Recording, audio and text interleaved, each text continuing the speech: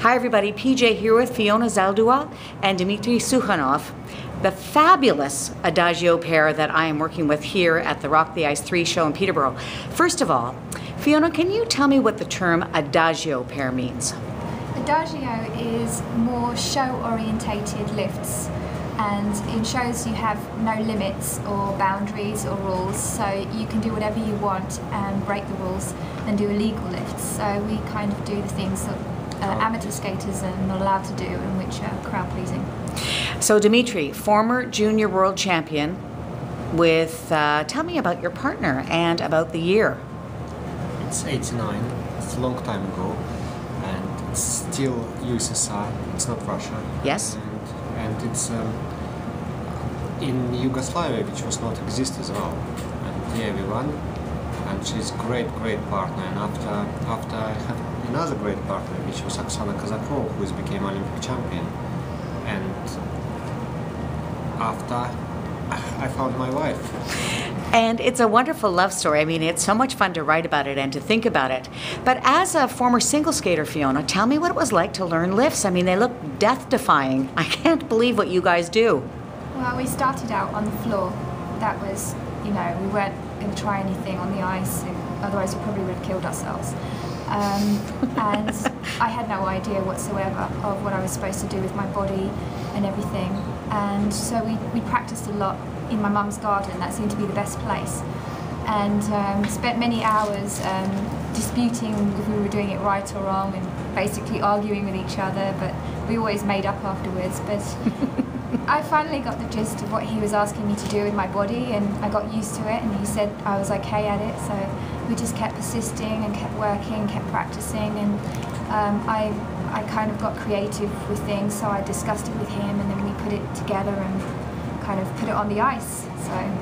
The, the, what I, when I've been watching you skate, I mean, it's just it's it's unbelievable what you're able to do. Tell me about the risk involved, and have you ever been seriously hurt?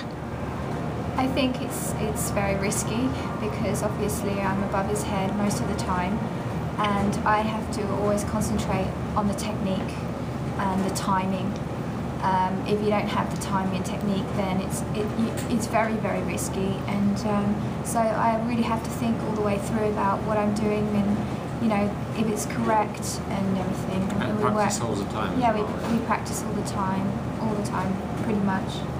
David Pelletier said to me about pair skating that it's kind of like a flower. The boy is the stem, and the girl is the flower. So Dmitry, what makes a good girl pair skater?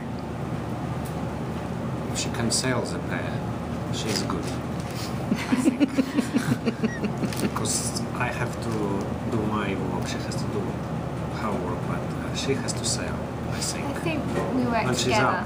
When she's up. I, I think we work together. I always, um, it's, it's a lovely feeling to skate with somebody on the ice, you know, and as a free skater.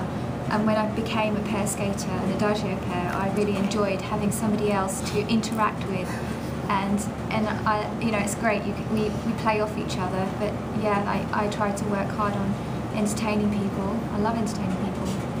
Okay, last question. What is your strength? I mean, you guys are a married couple. You're traveling together. You're working together. How do you not um, hurt each other?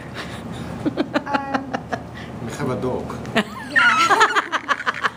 yeah, the dog is um, gets blamed for everything, really. no, no, but he's, he's a make a peace. Yes, he, he does make peace in the house. He makes the home like a home, really, and uh, but also discipline as well. I mean, with training and everything, we're, we're both quite disciplined and quite uh, motivated, and then compromise because I have my bad habits, he has his, and we just have to, you know, agree that you know, we have to try to make things work sometimes. It's not always easy. Fiona Zaldua and Dmitry Sukhanov, thank you so much for talking to me.